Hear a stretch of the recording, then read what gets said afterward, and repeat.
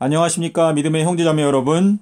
저는 오늘 이 시간에 요나의 표적과 관련하여 예수님께서 사복음서에서 말씀하신 연관된 내용들을 제가 이렇게 도표로 만들었는데 요 도표의 내용을 여러분께 설명을 드리고자 합니다.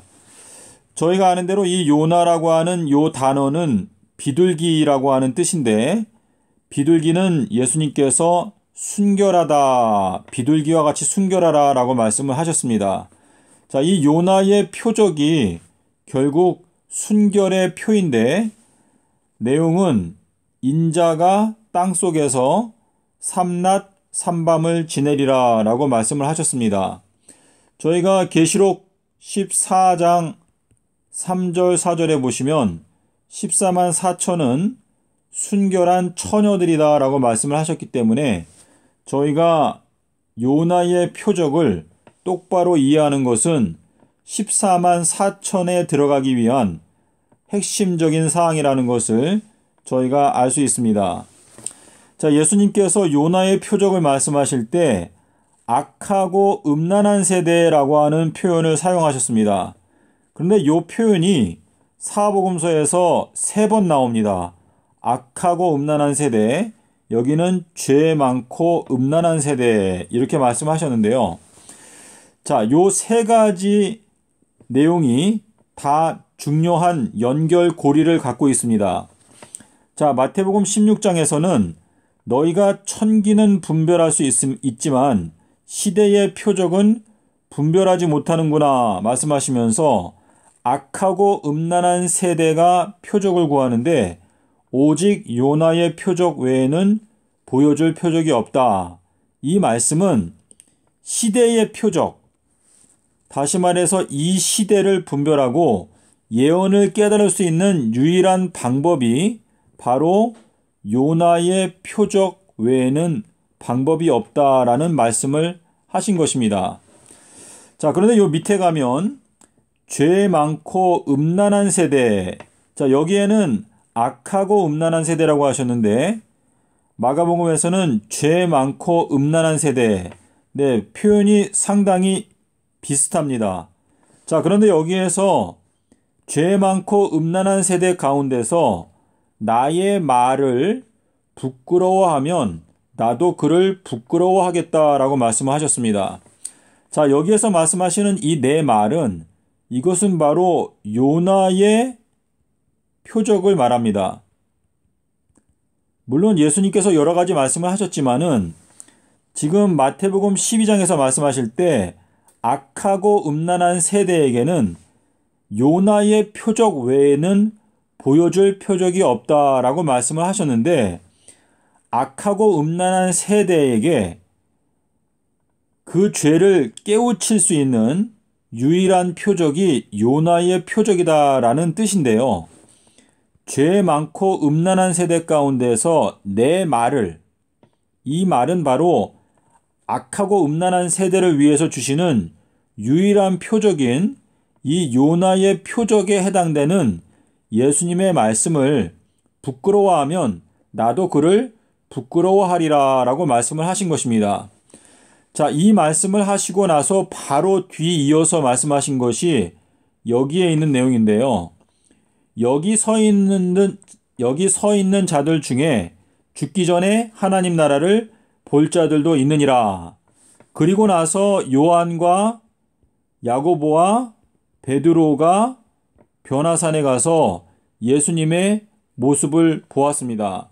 그때 하늘에서 소리가 나기를 이는 내 사랑하는 아들이요 내 기뻐하는 자라. 자, 예수님께서 하나님의 아들이다라고 하는 것이 변호사, 변화산에서 선포가 될 때 예수님께서 영광스러운 이 왕의 모습으로 변화가 되셨습니다. 그래서 이 모습을 요한과 야고보와 베드로가 직접 목격하였는데 베드로 후서 1장 16절에서 베드로가 말하기를 우리들은 예수님의 크신 위엄을 직접 목격하였다라고 말하였습니다. 자, 다시 한번 돌아가서 죄 많고 음란한 세대 가운데서 내 말을 부끄러워하면 나도 그를 부끄러워하리라 라고 말씀을 하시고 바로 뒤이어서 변화산에 올라가게 되는 특권을 받게 될 자들이 여기에 있다 라고 말씀하셨는데 요한과 야고보와 베드로는 예수님의 말을 부끄러워하지 않았기 때문에 요한, 야고보, 베드로가 예수님의 나라의 그 영광스러운 모습을 직접 목격할 수 있었습니다. 자, 베드로는 마태복음 16장 16절에서 주는 그리스도시요 살아계신 하나님의 아들이십니다라고 고백을 하였습니다. 자, 그리고 요한은 요한일서 5장 5절에서 예수님께서 하나님의 아들이신 것을 믿는 자가 아니면 이 세상을 이기는 자가 누구뇨 라고 말하였습니다. 자, 여기에서 이기는 자에 대해서 말했는데 야고보 같은 경우도 야고보서 2장 1절에 보시면 주 예수님은 기름 부음을 받으신 메시아다라고 고백을 하였습니다.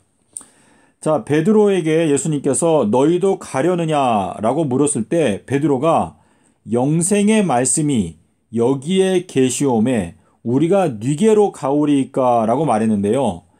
요한과 야고보와 베드로는 예수님께서 하신 말씀, 특별히 요나의 표적을 부끄러워한 것이 아니라 믿고 그것을 자랑스러워 했기 때문에 결국은 이 세 사람은 예수님의 영광스러운 그 모습을 직접 목격할 수 있는 특권을 받게 되었던 것입니다. 자, 그런데 지금 여기에 이 마태복음 16장 33절 4절에서 너희가 천기는 분별하나 시대의 표적은 분별하지 못하느냐라고 말씀하셨는데 요 내용이 누가복음에도 똑같이 나옵니다. 누가복음 12장에 보면 너희가 천기는 분별하나 시대는 분별하지 못하는구나라고 말씀하시면서 그 뒤에 바로 이어서 말씀하시기를 너희가 길을 갈때 너를 고소하는 자와 빨리 사화하라. 빨리 사화하지 않는다면 너는 재판관에게 넘겨지게 될 것이고 너가 감옥에 갇히게 될 것이다 라고 말씀하셨는데요.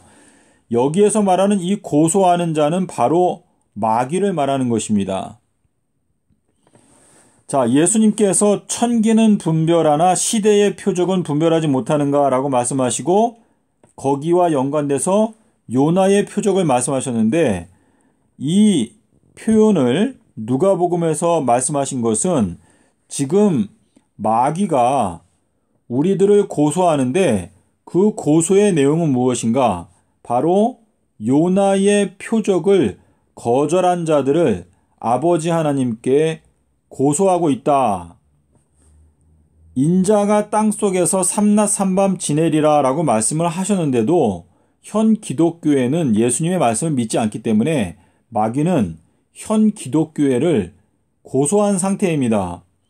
그리하여 그 고소가 하나님 아버지의 재판정에 올라가게 되고 하나님 아버지께서 판단하실 때 마귀의 고소 내용이 정당하다라고 판단이 되게 되면 요나의 표적을 거절한 자들은 전부 다 멸망을 당하게 되는 것입니다. 그래서 요 내용이 계시록 12장 4절에 그 마귀가 꼬리를 이용해서 하늘의 별 3분의 1을 땅에 던진다라고 말씀하셨는데 그 말씀이 이제 계시록 9장 15절에 가시면 땅 3분의 1을 하루에 어, 멸하리라 라고 하신 그 말씀이 이제 성취가 되는 것입니다. 자, 예수님께서 이사야 선지자를 통해서도 이사야서 9장 14절 15절에 보면 내가 하루 동안에 머리와 꼬리와 몸통을 제하여 버리겠다라고 말씀하셨는데요. 이 내용이 결국은 지금 마귀의 그 고소 때문에 대부분의 기독교인들이 멸망을 당하게 된다라고 하는 예언의 말씀인 것입니다. 자, 그래서 이 천기는 분별하나 이 표현을 두 번에 걸쳐서 이렇게 말씀하신 것은 지금 우리를 고소하는 마귀가 현 기독교회를 고소하는 고소 내용의 핵심이 바로 요나의 표적을 거절하고 있는 현 기독교회를 지금 고소하고 있다라고 하는 것입니다. 자, 제가 이제 어, 여기 마태복음에도 보시면 나를 시인하는 자는 나도 그 사람을 시인할 것이고 나를 부인하는 자는 나도 그 사람을 부인할 것이다 라고 말씀하셨는데요. 오늘 이 영상에서 핵심은요.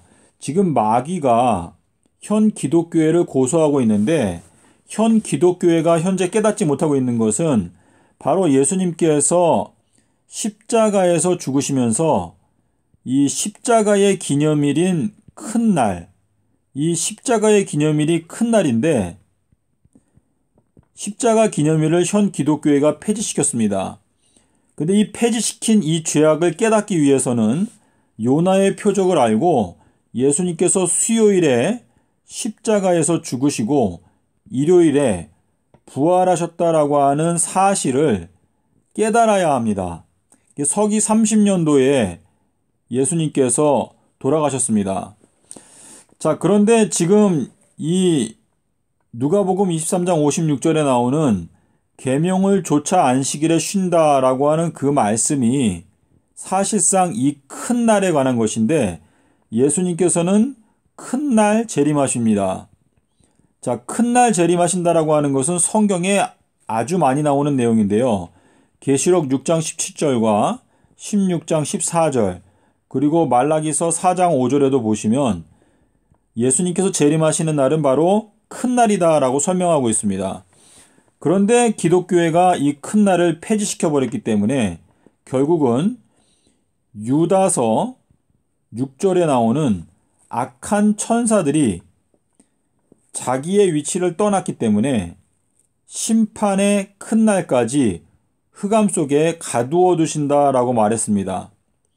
그래서 이 심판의 큰 날, 자, 큰 날이라고 하는 표현이 지금 세 번에 걸쳐서 나옵니다. 예수님이 재림하시는 날짜도 큰 날, 심판의 큰 날이 또 있고, 그리고 예수님께서 죽으실 때, 요 내용은 요한복음 19장 31절입니다. 자, 그래서 우리 현 기독교회가 이 큰 날의 중요성을 깨닫지 못하기 때문에 예수님께서 큰 날 재림하신다라고 하는 사실을 깨닫지 못하고 결국 심판의 큰 날까지 암흑 속에 갇히게 되는 것인데 이 마귀의 고소에서 우리가 벗어날 수 있는 방법은 바로 요나의 표적을 깨닫는 것입니다.